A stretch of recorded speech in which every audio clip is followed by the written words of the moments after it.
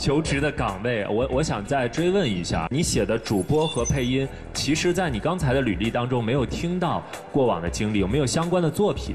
那你为什么觉得自己可以做配音员，或者是可以做主播？这个理由的话，是我内心的一个真实的答案。可能对于企业家老师们来讲，会有一点点，有点空。说实话，真的是从兴趣出发。我希望我干的任何的事情是从我的兴趣本身出发的，我会更加有动力，而且这种动力是一种自驱力。如果说你今天确实奔着我们公司来的，那首先应该了解一下有声作品的主播，还有就是做配音演员需要具备哪些素质。你要去听一些作品，甚至你要尝试一些作品，我才能判断说你能不能应聘这样的岗位，对不对？对喽。好的，好的。你有带来这样的作品吗？没有，对不对？那怎么办呢？我又不想让杜远志失望。这样吧，我们就考察一下他的即兴的一个表达能力和临场应变能力。这么刺激吗？这样，假设你还是婚礼司仪啊，你现在要为一对新人主持一场婚礼，但是双方的亲友和家人对他们的婚事，还是有一些看法和不同观点的。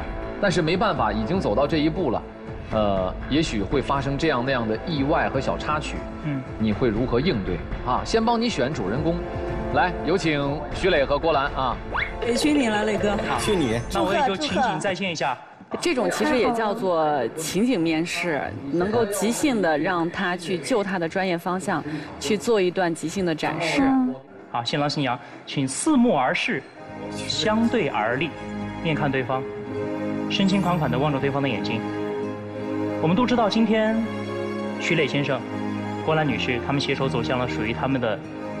婚礼殿堂，我们把“篮”字拆解，上面一个山，底下一个风，让我想到了一句话，叫做“我想找个如你一般的人，如山间清爽的风，如古城温暖的光。从清晨到傍晚，从山野到书房，只要最后那个人是你就好。”徐磊先生，你的名字。也赋予了郭兰女士爱的定义，磊，就像是石头一样坚强、坚韧，也寓意着你们未来的感情。哎，那你为什么不说石头是没有智商和情商的呢？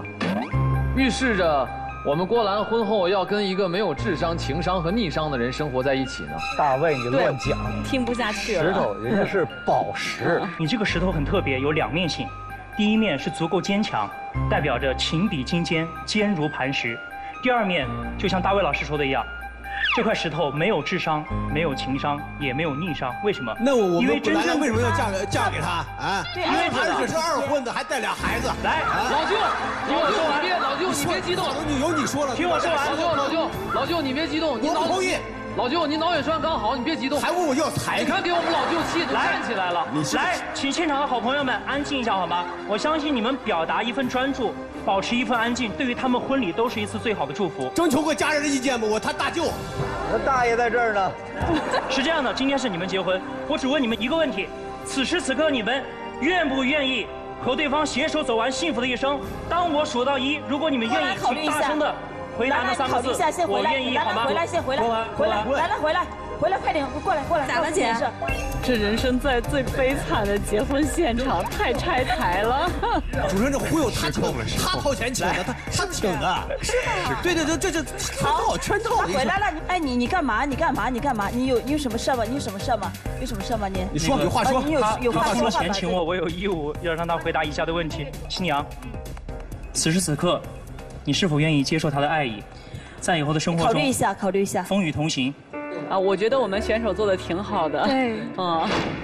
郭兰，我是你前男友，今天就是我来抢你的时候，不要答应他，我不愿意，以后你的幸福我给你。昆仑，这活儿咱不接啊，这钱咱不赚。昆昆仑，你这会被被男方家人打的。我觉得最精彩的应该是杜远志。他最后这个加入，我真的这个剧情没有十年脑血栓，这编剧写不出来。但是我要给我们选手点赞，我觉得表现的确实不错，一点都没慌乱。其实跟那个昆仑近距离交流的时候，我觉得他的眼神、微笑和他说话的语气让我觉得挺亲的。然后他一时之间就把我跟磊哥的名字给拆开了，就不管他说拆的好与不好，哎，在那一刹那，我觉得我还有点感动了。我怎么敢？先这样问一下，导演组有提前把我们名字告诉你吗？没有。然后还有一个情况是这样的，大卫老师，我真的刚刚我的内心五味杂陈呐。